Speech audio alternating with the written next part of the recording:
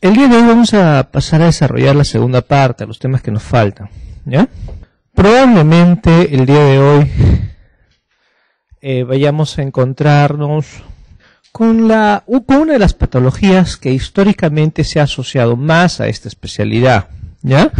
Con la esquizofrenia. Inicialmente se consideró que la psiquiatría podría tratar, por ahí, solamente las esquizofrenias o algunos trastornos asociativos.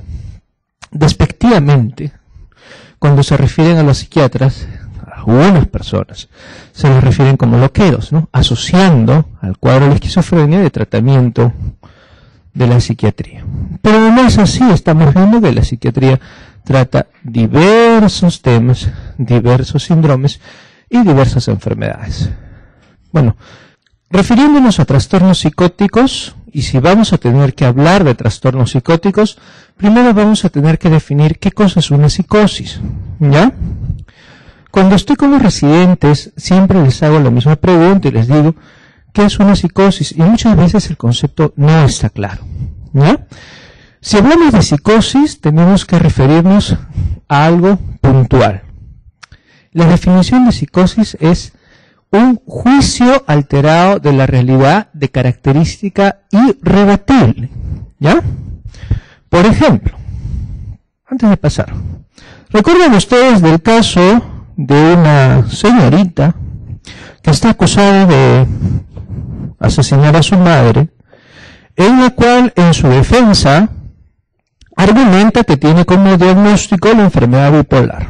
Pues bien, la enfermedad bipolar no le exime usted de ninguna responsabilidad, ya que aunque usted esté atravesando un cuadro bipolar, sabe distinguir entre el bien y el mal. ¿Por qué? Porque yo puedo tener una bipolaridad y no estar psicótico. Y si no estoy psicótico, sé diferenciar el bien del mal. Ahora, en el caso de que ese personaje haya estado psicótico, cuando uno está psicótico, no premedita un acto. ¿Sí? Por ejemplo, recuerden el caso ustedes de este personaje, también público, por lo tanto lo mencionaremos, conocido como Loco del Martillo. ¿Recuerdan el caso? De hace siete años más o menos. Según refería su defensa, argumentaba que este señor había estado en un estado de psicosis producto de las drogas que había consumido. Por lo tanto, en ese estado psicótico no podía diferenciar el bien ni el mal. En eso, este personaje sería inimputable por el acto. Pero la fiscalía muy prueba, conociendo su oficio, determinó que el martillo que había llevado, o el martillo con el cual habían golpeado a las, a las personas, no pertenecía al homenaje de la casa. Es decir, que el joven llevó el martillo desde su casa. Eso nos habla de un acto de premeditación. Por lo tanto, el consumo de cocaína que realizó fue premeditadamente para aducir que estaba psicótico, con lo cual hubo una planificación de todo este acto. Por lo tanto, hubo una intención y no se considera que fuera un cuadro, psicótico y recibió la sanción correspondiente a su pena. ¿No? De ahí viene la importancia de definir qué cosa es una psicosis o qué no. Si un día llega la emergencia de una persona diciendo que escucha voces, que piensa que los demonios lo persiguen, bueno, nosotros sin entrevistar más como el caso de un residente que puso ese diagnóstico de emergencia y le pone trastorno psicótico. Pues bien, este personaje era un simulador. Lo que pasaba es que había violado a una señorita unas horas antes y bueno, pues su abogado o alguien le había, asesorado de esa manera que acude a un servicio de emergencia y que diga pues esas cosas para poner que estaba psicótico, lo cual no era así, ¿no? Pero el residente fue involucrado en todo el proceso. ¿Por qué había puesto el, diagnóstico de psicosis? ¿no? Y eso puede generar problemas. Por eso hay que ser muy estrictos en esto. El, tener el diagnóstico de psicosis es un diagnóstico incapacitante y por lo tanto de ahí viene la responsabilidad de figurar ese diagnóstico. ¿no? Bueno, pasemos a hablar entonces después de esta introducción de los trastornos psicóticos. ¿Qué vendrían a ser? Son una categoría de enfermedades mentales que van a grupos grandes de subcategorías. ¿Qué quiere decir esto? Que la psicosis no solamente va a estar presente en los casos de esquizofrenia, sino como su mismo, eh, como su misma definición lo indica, yo puedo tener psicosis dentro de una depresión, puedo tener psicosis dentro de un cuadro de bipolaridad, puedo tener psicosis dentro de una esquizofrenia, puedo tener psicosis dentro de un trastorno limítrofe, ¿ya? Dentro de un trastorno obsesivo compulsivo inclusive puedo tener un cuadro de psicosis. La psicosis puede estar presente en diversas enfermedades mentales, ¿ya? Eso hay que tenerlo siempre bien en cuenta. Como les decía, ¿no? ¿Qué cosa es una psicosis? Algunos lo refieren como la pérdida de las fronteras del ego, ¿ya? O un grave deterioro de la evaluación de la realidad. Algunos dicen se pierde el contacto con la realidad, otros hablan se pierde el juicio de la realidad, pero en, en síntesis es eso. Ahora, una característica, ¿ya? La psicosis de la persona que está psicótica, usted no la va a poder convencer de lo contrario. De ahí viene esa característica de irrebatibilidad a diferencia de una idea delirante. Hablemos, por ejemplo, de un caso de celotipia, ¿no? Un señor, un hombre de 70 años, que considera o piensa constantemente de que su esposa le es infiel. Va, revisa en su cajón, revisa en su bolso, revisa hasta sus partes íntimas, todo lo demás fuera de esa idea está dentro de la realidad. Sabe que ustedes son seres humanos que están sentados acá, sabe que estamos de día, sabe cómo se llama, sabe diferenciar el bien del mal. Pero su única idea fija y delirante es eh, referida a que su esposa le es infiel. Ese es un caso de celotipia, una idea delirante. Se diferencia de la psicosis, que la psicosis muchas veces está alterada todo el conjunto de la realidad.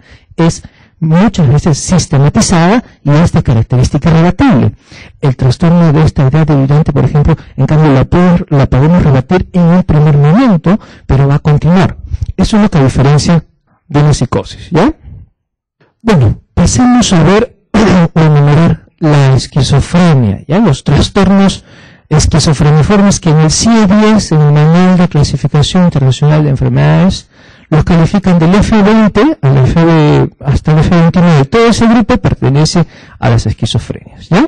Y eso, enumerando nada más primero, vamos a ver la esquizofrenia, ¿sí? El trastorno esquizofreniforme, el trastorno esquizoafectivo, el trastorno psicótico breve, esto que suele presentarse muchas veces eh, cuando nos hablan de que hay problemas de Mm, de que en una misma familia han visto, imagínense, eh, a la Virgen María. Lo más frecuente es que se tenga connotaciones religiosas. Los franceses le llaman un folie, un folie eh, de a dos, un folie de a tres, un trastorno psicótico compartido. ¿ya? Ahora, el trastorno psicótico también puede presentarse dentro de una enfermedad médica. ¿sí? Yo, por ejemplo, puedo tener un cuadro de desequilibrio hidroelectrolítico como consecuencia de ser un cuadro psicótico. O después de estar atravesando un stroke, también puede presentar un cuadro psicótico. ¿ya? Ahora, la psicosis también puede presentarse o puede ser debidas a la ingesta de sustancias. Podemos tener un trastorno psicótico no especificado. También puede presentarse, como les comentaba, dentro de la depresión o dentro de la bipolaridad pueden cursar con síntomas psicóticos. Y ahora, esto sí hay que tener bien en cuenta. Si en un trastorno depresivo hay síntomas psicóticos, ya se trata de un cuadro depresivo severo. Yo no puedo encontrar en una depresión leve psicosis. Ya la presencia de psicosis me habla de que es una depresión severa. ¿Sí? Vamos a ver. Hablamos de esquizofrenia. La esquizofrenia es una enfermedad descrita por culturas antiguas. Babilonios describen la esquizofrenia, los griegos describen la esquizofrenia, los romanos describen la esquizofrenia, con connotaciones diversas, dándole muchas veces connotaciones religiosas. No solamente la esquizofrenia, si hacemos un paralelo, también consideran, imagínense, la epilepsia como una enfermedad producida por, por los demonios que podían estar dentro del cuerpo de un ser humano. ¿Ya? Entonces, las personas afectadas con esquizofrenia siempre han sufrido un estigma por parte de la sociedad porque son diferentes y por sus grandes problemas de adaptación y por el miedo que generan. Miedo no solamente en población eh, civil, sino también dentro de la comunidad médica, generan miedo y rechazo. ¿Ya? Ahora, ¿Qué suelo ver yo o qué espero encontrar en una persona con esquizofrenia? ¿O qué puedo ver u observar para deducir o inferir de que esa persona puede estar atravesando un cuadro esquizofrénico? Primero, si yo encuentro que un ser humano, una persona, empieza a presentar ideas delirantes, por ejemplo, la persona cree o está convencida de que puede leer los pensamientos de ustedes, ¿sí? Hasta ahora no se puede demostrar la telepatía, pero estas personas creen la telepatía. Puede presentarse en ellos, imaginémonos, la enajenación del pensamiento. Ellos pueden pensar en la publicación del pensamiento, en que de repente hay un chip que está insertado en su cerebro y otra persona lo puede controlar, a través de control remoto. Se llaman ideas de control externo. Hay una gama muy amplia, ¿ya? Que nos habla de la fenomenología de la esquizofrenia y acá lo vamos a agrupar solamente con ideas delirantes. En segundo lugar, alucinaciones. Esto quiero que ustedes lo tengan en cuenta, doctores. El hecho de que una persona presente alucinaciones no significa que tenga esquizofrenia, ¿ya? Las alucinaciones pueden estar presentes en muchas enfermedades, porque la alucinación es simplemente una alteración de un proceso parcial llamado percepción. Si yo tengo una alucinación es una alteración de la percepción. Si tengo ideas delirantes es una alteración del pensamiento. Entonces, si la alucinación es una alteración solamente de percepción, si una persona dice que esté escuchando voces, no significa de que esté con esquizofrenia. ¿Sí? Entonces, no cometamos el error de una persona que acude a nuestra consulta o acude a, la emergencia diciendo o refiriendo que escucha voces, consignarle el diagnóstico de esquizofrenia. Mejor le ponemos alteración de la percepción o probarle cuadro psicótico interconsulta a la especialidad, pero no, no caigamos en el facilismo que se ve mucho de consignar diagnóstico de esquizofrenia a personas que no lo tienen. En tercer lugar, hablemos del lenguaje. El lenguaje es una expresión de nuestro pensamiento. La persona si habla muy rápido, probablemente esté pensando muy rápido. Por el contrario, ustedes han escuchado hablar a personas con hipotiroidismo. Una persona que está atravesando un cuadro de hipotiroidismo severo, por ejemplo, tiene bradiquinesia y tiene bradisiquia y también tiene bradilalia. ¿Sí?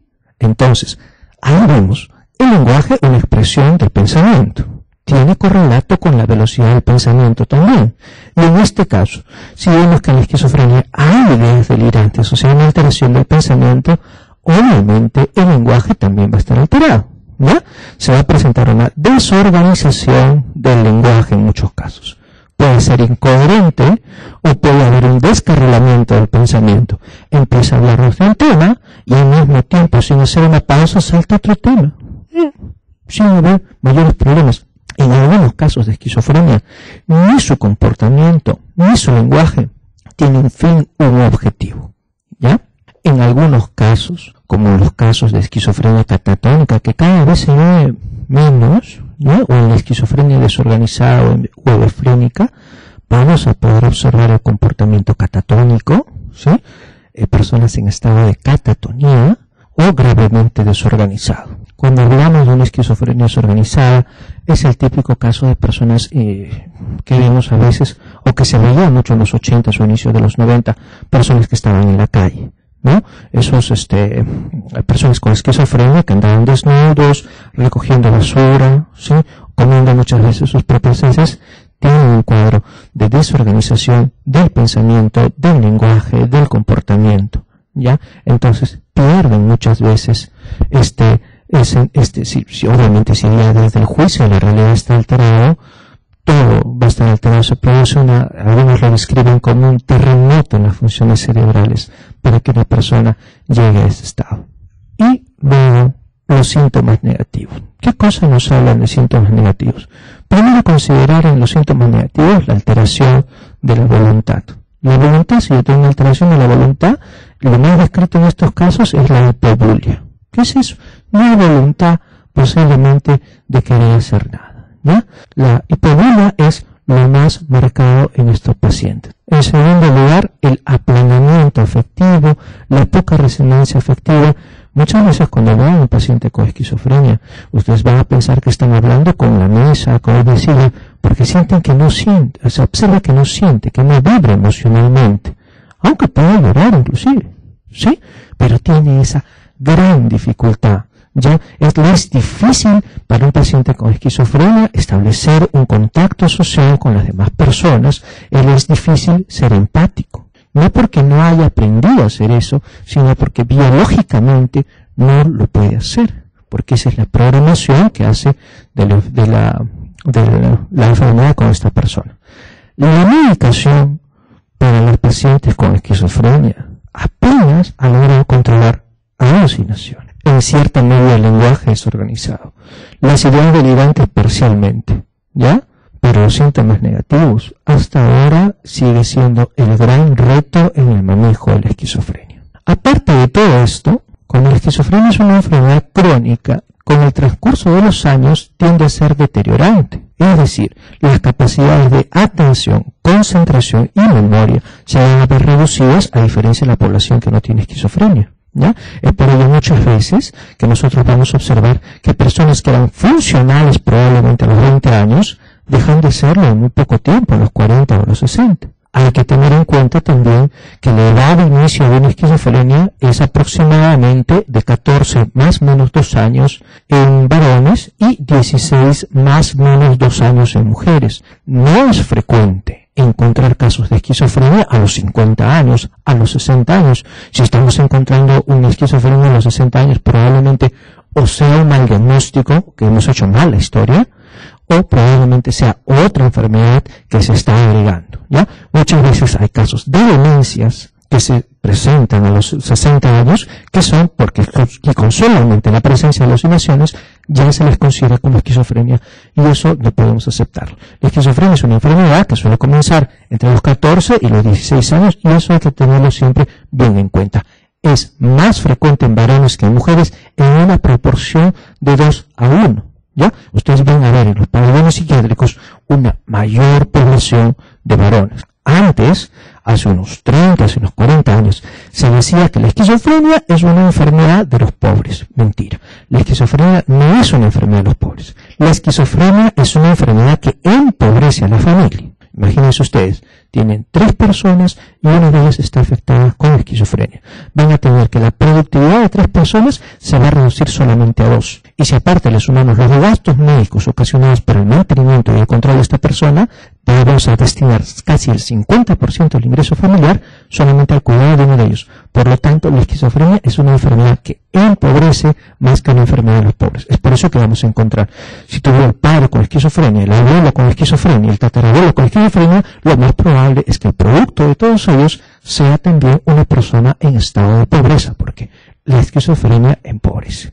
Hay el caso, por ejemplo, de un multimillonario de las familias de los Dupont en Estados Unidos, que tenían cerca de aproximadamente, llegaron a tener calculado la fecha, sería el equivalente de 60 mil millones de dólares, y uno de ellos pues, tuvo esquizofrenia. Pero tuvo esquizofrenia producto de que una de las herederas de los Dupont se casó con un bipolar. Y existiría entonces un patrón de herencia a través de tres enfermedades. Bipolaridad, esquizofrenia y trastorno esquizoafectivo. Y eso siempre hay que buscarlo cuando nosotros hagamos nuestra historia clínica. Estas son tres clases puntuales, así que vamos a seguir avanzando y vamos a seguir viendo. Para aclarar, yo puedo tener todo esto, pero calificar algo como esquizofrenia necesito reunir una serie de requisitos. Primero, que los síntomas tienen que estar por lo menos durante seis meses. Si tengo todo esto en una semana, no voy a ponerle a la persona un diagnóstico de esquizofrenia. Será posiblemente dentro de dos, tres, cuatro, cinco años, pero en el momento no lo es, porque tengo que tener seis meses. ¿Ya? Ahora, tengo que excluir que no sea un trastorno esquizoafectivo y que no sea un producto de una depresión con psicosis o no sea una bipolaridad con psicosis. Tengo que descartar que no me haya consumido drogas, ¿ya? O que no sea producto de una enfermedad médica. Luego, que no tenga una relación con un trastorno generalizado del desarrollo, que no sea un retraso mental que está haciendo, por ejemplo, un cuadro psicótico, o que no sea un autismo que está haciendo una psicosis. Y que se presente esto. La esquizofrenia tiene como característica la disfunción sociolaboral. ¿Ya? La disfunción sociolaboral. O sea, dice, algunas personas argumentan, pero John Nash ganó un premio Nobel teniendo esquizofrenia. Y se les dice, pues, bueno, sí, pero probablemente si no hubiera tenido esquizofrenia hubiera sido superior a todos los científicos que se ha tenido en la historia de la humanidad. ¿Ya? Sigamos. Si hablamos de esquizofrenia, hablemos ahora de trastorno de ideas delirantes. ¿Recuerdan lo que les hablaba de la celotipia? Pues bien, va a existir cuando tengo un trastorno de ideas delirantes, ¿ya? Ideas delirantes, un único tema delirante, ¿ya? Solamente está enfocado en una cosa.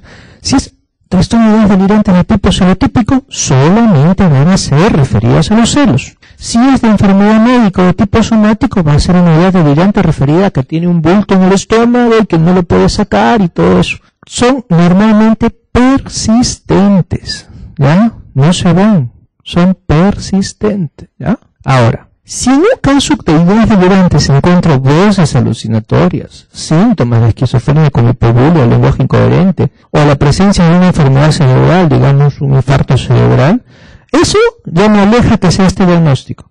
Porque para tener un trastorno de delirantes no tiene que haber alucinaciones, no tiene que haber síntomas de esquizofrenia, no puedo encontrar infartos cerebrales porque eso ya me cambia el diagnóstico. O sea, tiene que ser una persona que no encuentre ninguna otra enfermedad donde haya un único tema delirante, ahí consideraré que es un caso de ideas ¿no? Y ahora otra característica, no está acá, pero es mucho más frecuente en varones, ¿sí? Una proporción casi de 3 a 1 los trastornos de ideas delirantes y suele comenzar en edad media o avanzada de la vida. ¿Cuál es el caso más frecuente? Varón llegando casi a la tercera edad y lo más frecuente, ideas de persecución o celotipia. Esas son las ideas delirantes. Ese es el paciente que viene con ideas delirantes. Varón llegando casi a la tercera edad, entre los 50 y los 60 años, ¿ya? que presenta o ideas de persecución o celotipia. Muchas veces no sigue con el tratamiento, no se logra mejorar. Y bueno, trastorno psicótico agudo y transitorio. Muchas veces, y debo reconocerlo, la misma especialidad cometemos errores y consideramos personas que ingresan de repente a un hospital psiquiátrico con un trastorno psicótico agudo de una semana o dos semanas, le ponemos como diagnóstico esquizofrenia. Y luego cuando remite el caso vemos que la persona está muy bien y no queremos quitar el diagnóstico. Pero muchas veces he visto casos de que se ha hecho mucho daño a algunas personas considerando ese diagnóstico. Por eso les digo la importancia del tiempo, ¿ya? Seis meses. Cuando yo tengo un trastorno psicótico agudo y transitorio, el comienzo es agudo, menos de dos semanas, ¿ya? ¿Sí? Menos de dos semanas. Donde yo voy a encontrar casi siempre el antecedente de un estresor, ¿sí? o síndromes típicos. ¿Qué puede ser un síndrome típico? Bueno, lo que nos habla, la alteración de la, de la, de la realidad, las ideas de persecución, las alucinaciones, todo lo que puede constituir una psicosis. Por ejemplo, les doy un caso. Varón, 20 años, trabajador de un banco, y entonces este, pierde dinero al pulsar mal una tecla y tenía que reponerle al banco 10 mil soles. Algunos nunca falta alguien que exprese un comentario a veces desatinado. Dijo, pero 10 mil soles se recupera rápidamente. De repente para esta persona sí, pero para este trabajador del banco era muy difícil porque ganaba solamente 800 soles. Entonces se desesperó de tal forma que llegó a hacer dentro de su propio trabajo un cuadro. Y para mala suerte de él, le ponen como diagnóstico esquizofrenia. Cuando le dan de alta y sale de alta, se recupera el trabajo y en el trabajo observan que tiene el diagnóstico y deciden rescindirle el contrato. Entonces él hizo un daño. ¿Ya? Entonces, eso siempre hay que tener en cuenta. Esquizofrenia, doctores, más de seis meses en las preguntas que vienen en los exámenes, también se está considerando ese criterio, ¿ya? El criterio del tiempo. Los trastornos esquizoafectivos. Esto más que todo es bipolaridad, pero también se puede aplicar a trastornos esquizoafectivos. Si yo encuentro trastornos esquizoafectivos, voy a encontrar que son o de tipo maníaco, o de tipo depresivo, o de tipo amigo, con una característica. ¿Cuál es? no solamente habría alteración del estado de ánimo, sino también alteración del pensamiento. ¿Qué cosa? Cuadro psicótico. ¿Qué quiere decir? Que la diferencia de la presentación entre el trastorno del estado del ánimo y la alteración del pensamiento va a ser como máximo entre 3 a 4 días a una semana. ¿Qué quiere decir? Imaginemos acá una curva. Si esto vendría, si vendría a ser la intensidad de la alteración del pensamiento, a la vez debería encontrar de paralela una alteración del estado del ánimo. Si han pasado tres meses, imaginémonos, hace tres meses comenzó la alteración del estado del ánimo y ahora está presentando una psicosis, no es un trastorno esquizoafectivo. Por el contrario, si hace dos meses presentó un cuadro psicótico de alteración del pensamiento y ahora me presenta un cuadro depresivo, tampoco es un cuadro esquizoafectivo. Para que sea esquizoafectivo, la alteración tanto del estado del ánimo como el pensamiento tiene que ser prácticamente en el mismo tiempo, si se puede el mismo día, y máximo con una diferencia de 3 a 4 días a una semana. como está acá. Las manifestaciones de ambos síntomas, esquizofrénicos, como ya los hemos comentado, señalados ahí, y afectivos, son claras y destacadas y se presentan simultáneamente con un plazo de entre unos de pocos días entre unos y otros, ¿ya? Dentro del mismo episodio de la enfermedad. Eso no quiere decir que hace una psicosis, se resuelve la psicosis, después no hace trastorno afectivo. No. O sea, tiene que haber al mismo tiempo trastornos esquizofrénicos o síntomas esquizofrénicos y afectivos. ¿ya? Los casos de trastorno esquizoafectivo son raros, porque si vamos a ceñirnos a la norma, no van a ser muy frecuentes. La mayoría de casos que se ponen como trastornos esquizoafectivos en realidad son cuadros bipolares. ¿ya? aunque muchas veces es difícil catalogar un bipolar que encontramos con cuadros psicóticos y que empieza a consumir sus propias heces, pero puede darse en algún momento también. ¿Ya? Bueno, terminando los cuadros psicóticos, vamos a pasar a ver los trastornos afectivos, los trastornos del humor. ¿no? Creo que el día lunes les comenté a ustedes esta cifra que maneja la Organización Mundial de la Salud de que el 50% de las personas el año 2020 vamos a padecer de un trastorno depresivo. Pero bueno, si bien eso nos conviene a todos los que hacemos salud mental, hay que cuestionar muchas veces la cifra, cómo se logran esos datos, ¿ya? Todos nosotros habremos atravesado alguna vez algún episodio depresivo en nuestra vida pero no significa que todos estemos atravesando o que la mitad de las personas se encuentren atravesando depresión. Eso hay que tenerlo bien en cuenta, ¿ya? Y hay que considerar también, y eso quiero decirles, que un gran porcentaje de depresiones, posiblemente la mayoría, son depresiones leves. Las depresiones leves van a mejorar muchas veces sin la necesidad de usar fármacos. Las depresiones moderadas necesitarán fármacos y las depresiones graves necesitarán fármacos toda la vida. ¿Ya? Y eso hay que tenerlo en cuenta. Pero tampoco hay que alarmarnos ni creer que va a ser este algo catastrófico, que vamos a tener olas de suicidio, porque haremos las intervenciones tempranas para ello. Trastornos del humor. La alteración fundamental, como dice su propio nombre, es la alteración del estado del ánimo. Para enumerarlos, para tener en cuenta qué cosas son. Episodio maníaco. ¿Ya? El episodio maníaco lo vamos a poder dividir en estas categorías. Primero, la hipomanía. ¿eh? Manía, hipo, hipo abajo, hiper arriba y manía. ¿sí? Cuando hablo de hipomanía, me hablan de unas características que tienen que ver con lo siguiente. Primero, disminución de la necesidad de sueño. No es que tenga insomnio la persona, ¿ya? La diferencia entre el insomnio es que la persona quiere dormir, quiere disfrutar de este dormir, pero cuando una persona tiene disminución de la, de la necesidad de sueño, la persona no quiere dormir, la persona va a estar conectada a su computadora, va a estar escribiendo, buscando qué hacer, de repente siendo inoportuno, llamando a otros amigos, comentándole los planes, los deseos que tiene por hacer, las empresas a que, que, que va a tener, los amigos los contactos que está consiguiendo. ¿Ya? Después, tiende la persona, tiende la verborrea a hablar mucho más rápido, ¿sí? No lo pueden parar, tiene muchas ideas, pero una característica principal. La hipomanía, en el peor de los casos, va a durar cuatro días. Si pasa de los cuatro días, ya estoy hablando de un cuadro de manía. ¿Ya? Hasta el momento, bueno, ese criterio quiere revisarse, pero hasta el día de hoy lo que se acepta es que una hipomanía tiene que durar cuatro días. Si les viene en el examen una pregunta de la siguiente forma. Paciente varón de 36 años, que empieza a gastar todo su dinero, duerme poco, tiene mucha energía, habla de grandes negocios, y estos síntomas han durado solamente tres días. El diagnóstico que usted considera es A, hipomanía, B, manía. Bueno, si nos dicen que ha durado solamente tres días, el caso es de una hipomanía. ¿Ya? Eso hay que tenerlo bien en cuenta. El criterio del tiempo. ¿Sí? Y ahora, en la manía, no pone, pero en la manía yo puedo tener síntomas psicóticos, ¿ya? Como les hablaba, la psicosis puede presentarse en varias enfermedades y uno de los que se presenta es en los episodios maníacos, ¿ya? El trastorno bipolar.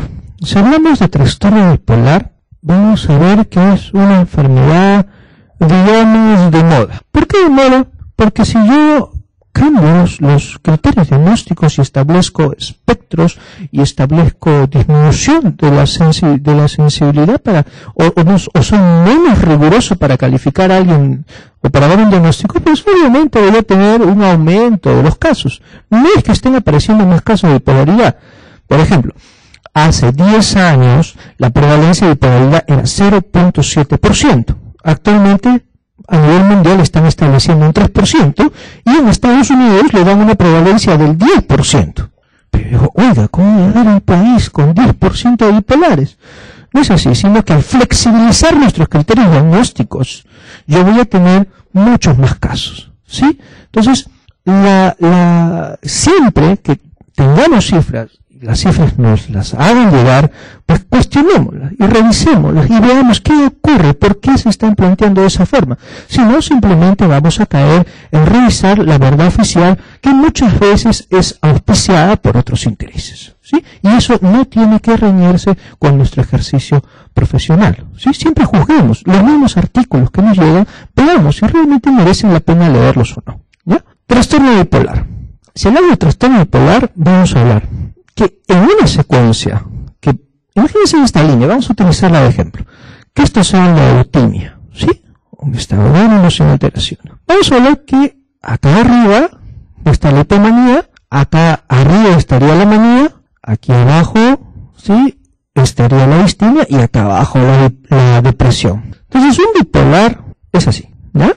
Entonces, va a ser muy difícil para una persona con bipolaridad encontrar la eutimia sin un tratamiento adecuado suele presentar episodios menos frecuentes de manía de hipomanía, pero es muy frecuente. Y sobre todo que la persona presente episodios depresivos, ¿ya? Muchas veces esos episodios depresivos que presenta el bipolar suelen ser confundidos con un episodio depresivo para el CIE-10 o con un trastorno depresivo mayor como los americanos, ¿ya? Entonces, si yo confundo una depresión bipolar con una depresión unipolar, puedo cometer errores. ¿Qué les quiero decir? Si yo diagnostico a una persona que tiene bipolaridad y está en un estado de depresión bipolar y le doy medicamentos antidepresivos y le doy inhibidores la captación de serotonina, imaginémonos que le doy paroxetina, ¿ya? Puede presentarse en esa persona y de suicidio, puede desencadenar o facilitar un suicidio producto de la medicación que le estoy dando. Por eso, y de ahí viene la importancia de saber diferenciar o hacer una buena historia clínica y preguntarle a la persona si ha tenido o no ha tenido, siempre que tenga depresión, episodios de manía o de hipomanía, porque basta que haya presentado un solo episodio, ni siquiera una de hipomanía en su vida, para ya ser catalogada como bipolaridad. Y eso hay que ser muy acuicioso siempre.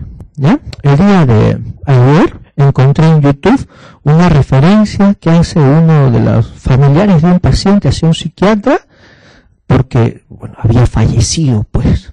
Su, su familiar se suicidó y parece que no bueno no sé eh, realmente los detalles pero nosotros vamos a estar en nuestro ejercicio profesional expuestos a nivel de los medios expuestos a calumnias y expuestos a muchas cosas actualmente. Entonces, hay que saber cuidarnos y tener siempre el conocimiento necesario para evitar cometer la menor cantidad de errores. Todos cometemos errores. Los errores siempre están presentes, pero en la medida que podamos reducir, vamos a tener reducir de la misma forma la probabilidad de tener problemas a futuro. Trastorno bipolar, ya hablamos de los episodios maníacos y hipomaníacos, pues ahora hablamos de los episodios depresivos. ¿Sí? En el trastorno bipolar también puedo tener depresiones leves a moderadas. ¿Sí? Puedo tener episodios bipolares depresivos graves con síntomas psicóticos, perdón, con síntomas psicóticos y sin síntomas psicóticos. ¿Ya? Y sobre todo esto. Trastorno bipolar, episodio actual mixto. La diferencia entre una depresión bipolar y una depresión unipolar es el, depresivo, la persona que tiene una depresión unipolar, van a encontrar ustedes sentada, tranquila, sin hacer nada, no va a querer salir de su casa. Su rostro va a estar, ah, tranquilo, muy triste muchas veces. Una depresión bipolar. Está deprimido, pero está eufórico, está colérico, está amargado, está ansioso, está preocupado. Y en ese estado es cuando quiere acabar con ese sufrimiento y atentar muchas veces contra su vida. Es una diferencia importantísima. Considera que los niveles de ansiedad van a ser mayores en una persona con depresión bipolar que una, persona con, una persona con depresión bipolar. Y aparte de esto, la persona con depresión bipolar está molesta, está colérica, no le gusta estar así.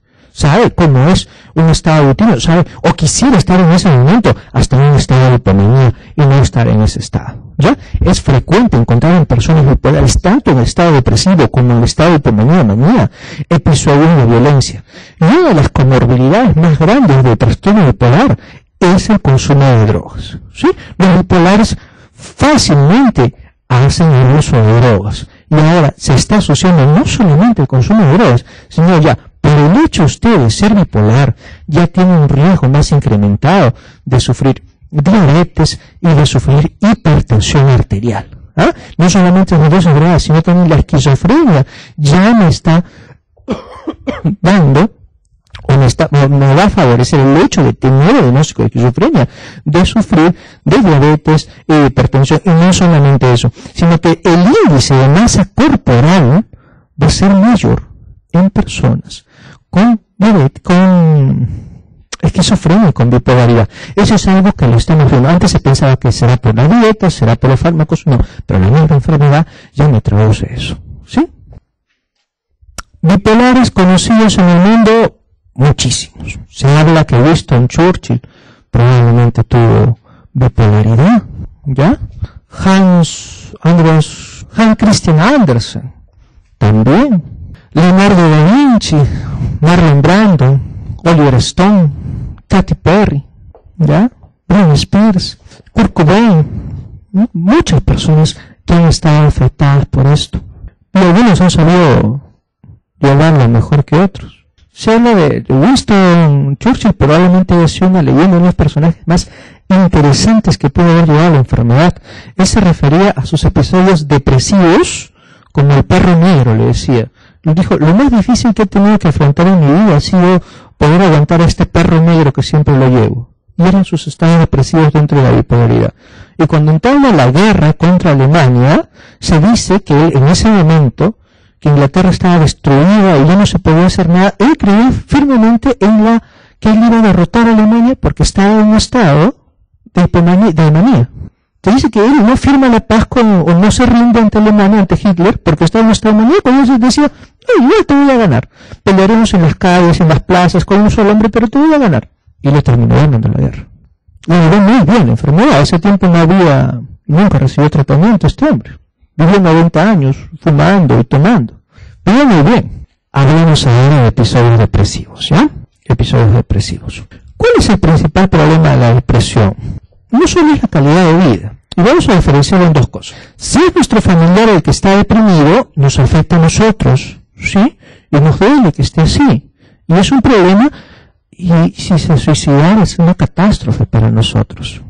Para las aseguradoras es un gran problema, porque la depresión está asociada a faltas en el trabajo, ausencias en el trabajo, y va a potenciar el desarrollo de otras enfermedades. Para el Ministerio de Economía, tener más personas con depresión significa que tu PBI no va a crecer, se va a estancar. Entonces, el costo de la depresión no solamente va eh, o está relacionado a los costos médicos que puedas tener, cuánto te costarán los antidepresivos, la consulta, los mejores niveles de vida, sino está relacionado sobre todo a la disminución de la productividad. ¿Qué les quiero decir? Imagínense que a los 15 años o a los 16 años comienza la depresión de esta persona. Entonces, me va a producir en toda su vida como 20 de lo que debería haber producido como 100. Entonces, mientras más depresivos tenga un país, va a afectar netamente su productividad. Aparte, una persona que está deprimida no gasta, no consume. Si tienes un país que de gente que no consume, obviamente te va a ir mal como país.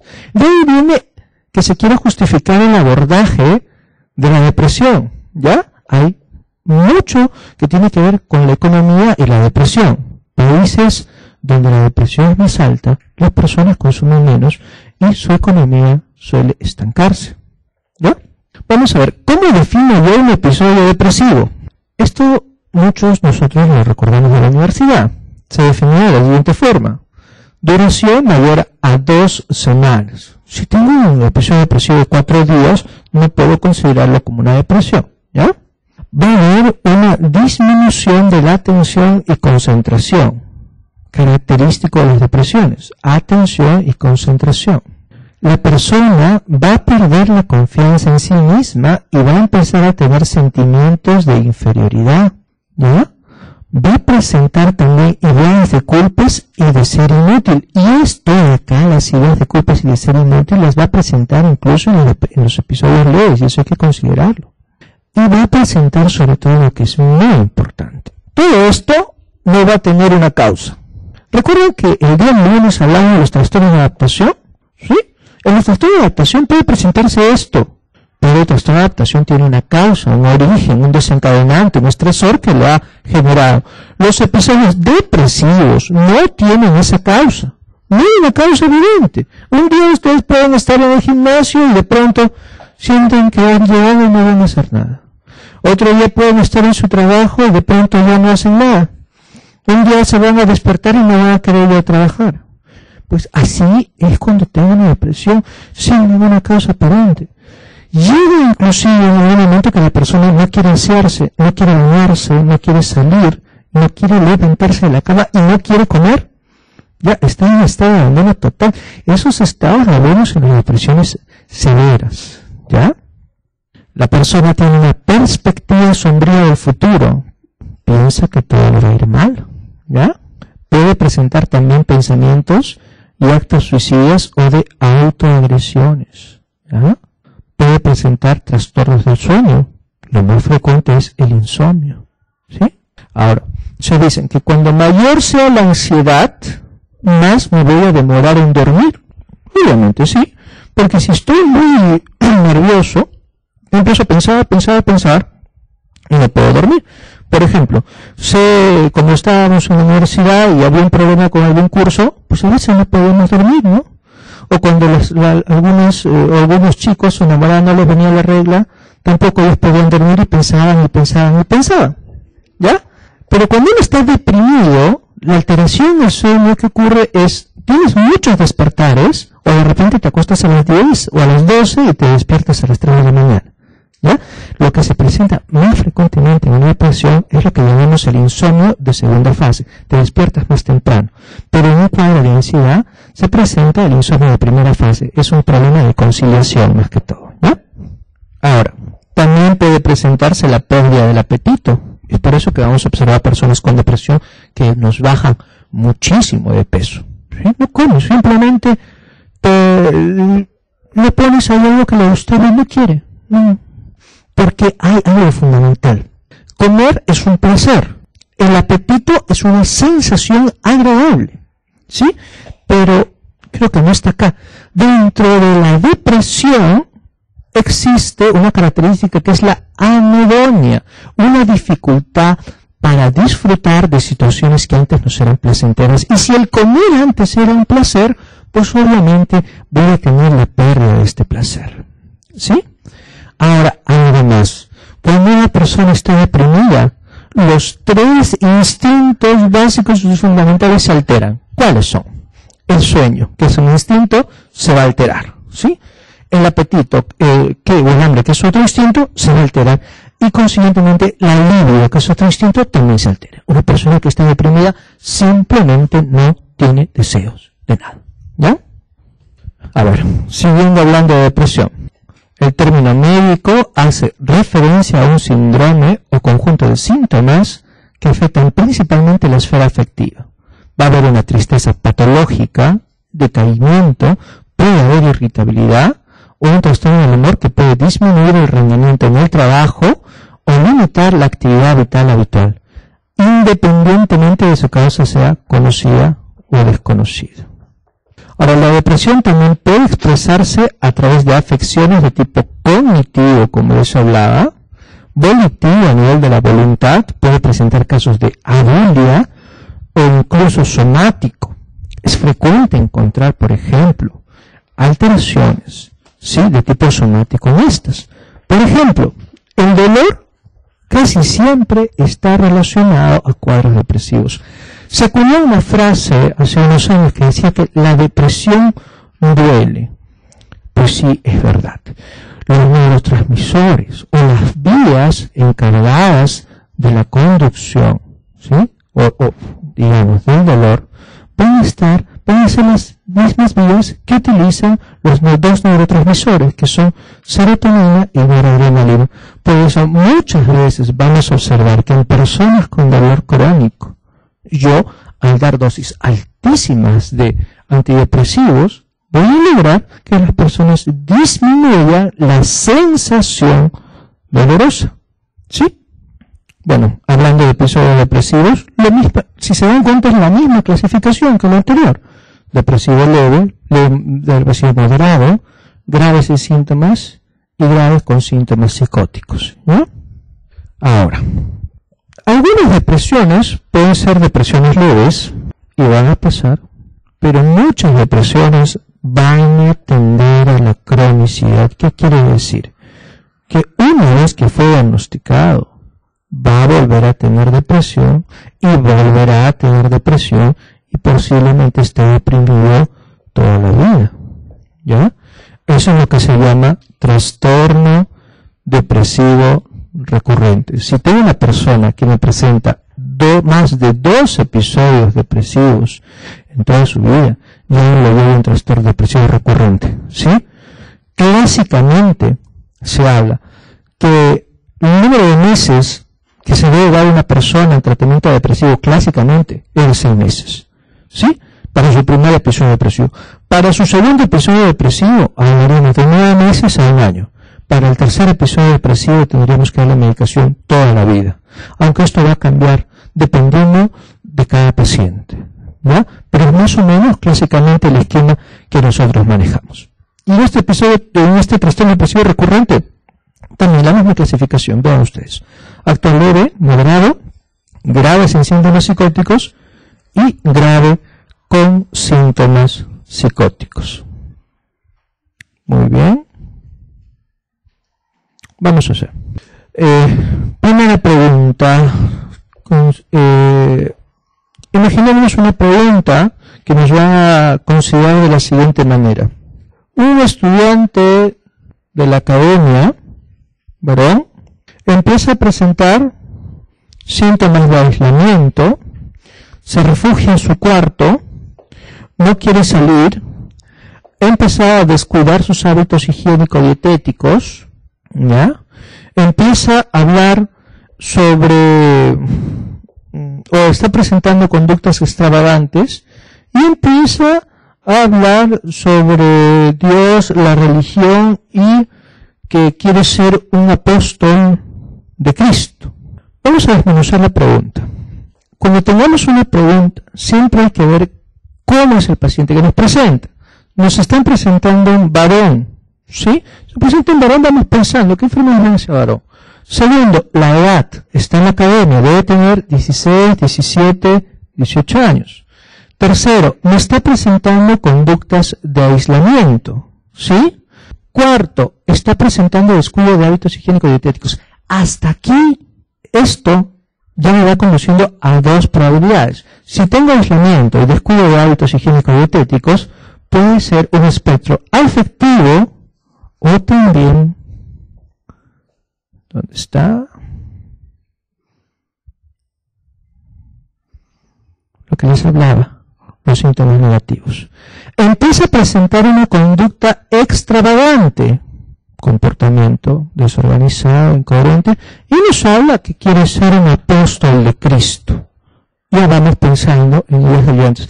Cuando tengamos una pregunta, doctores, siempre fijémonos en qué paciente nos están presentando. Nuestras preguntas, las que se elaboran, las que a veces tenemos la oportunidad de enviar a la universidad, es siempre, le van a decir el sexo del paciente, le van a decir la edad del paciente y a partir de eso nosotros podemos hacer una diferencia. Había una pregunta que vino el año pasado, que siempre suele venir, ¿eh? Eh donde intervienen, creo que varias especialidades. un niño que acude a la emergencia y presenta fractura de húmero. No encuentra nada más en el examen físico. ¿Qué cosa estás sospechando usted? ¿Sí lo han visto, no? Sí, sí saben de esa pregunta. Esa pregunta es clásica. ¿Y cuál es la respuesta, doctor? Maltrato, ¿no? La respuesta es la respuesta es maltrato. Pero hay preguntas como esas. Pero la mayoría de preguntas suelen ser mucho más estandarizadas y la tendencia actual es poner una mayor cantidad de casos clínicos y brindarles a ustedes mucha más información y consecuentemente también las alternativas, ¿sí? Van siendo más elaboradas.